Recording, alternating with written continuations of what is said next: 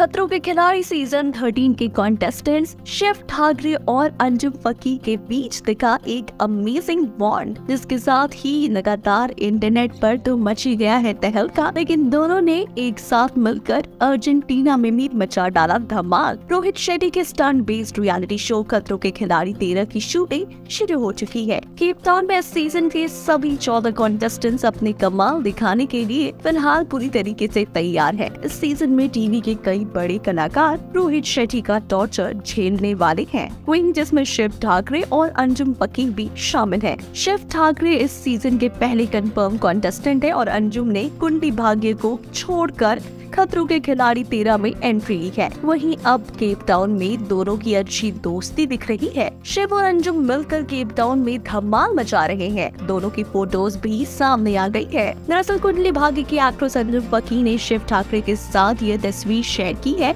और इन फ़ोटोज़ में दोनों काफ़ी मस्ती भरे अंदाज में नज़र आ रहे हैं। शिव ठाकरे और अंजुम पकी का यह साथ में पहला प्रोजेक्ट है और दोनों खतरों के खिलाड़ी की शूटिंग के दौरान अच्छे दोस्त बन गए हैं। तो वही शिव और अंजुम की इन फ़ोटोज़ में देखा जा सकता है कि दोनों अलग अंदाज में पोज देते दिख रहे हैं और ये ज़बरदस्त तरीके के कैंडल पिक्चर्स हैं। इस तस्वीर में शिव और अंजुम अपना किलर एटीट्यूड दिखा रहे हैं। दोनों के एक्सप्रेशन फैंस का ध्यान खींच रहे हैं। तो वही वहीं देखा जाए तो अंजुम और शिव ने एक खास मैसेज भी लिखा है, जिसमें खास तौर पर उन्होंने शिव का दिल सोने का बताया है। इस दौरान उन्होंने शिव को अपना खास दोस्त बताया है। तो ऐसे में देखा जाए तो अंजुम फकी के इस कैप्शन में शिव ठाकरे ने भी प्यारा सा कमेंट किया है। उन्होंने लिखा रुलाएगी क्या पगली, ये लड़की ऑलराउंडर है। जो भी करती है, वो बेस्ट करती है। शिव ठाकरे केपटाउन में मस्ती का एक मौका नहीं छोड़ रहे हैं। इससे पहले भी अंजुम ने शिव के साथ कुछ फ़ोटो शेयर की थी। तो वही इस दौरान रूही चतुर्वेदी और अरजीत तनेजा ने भी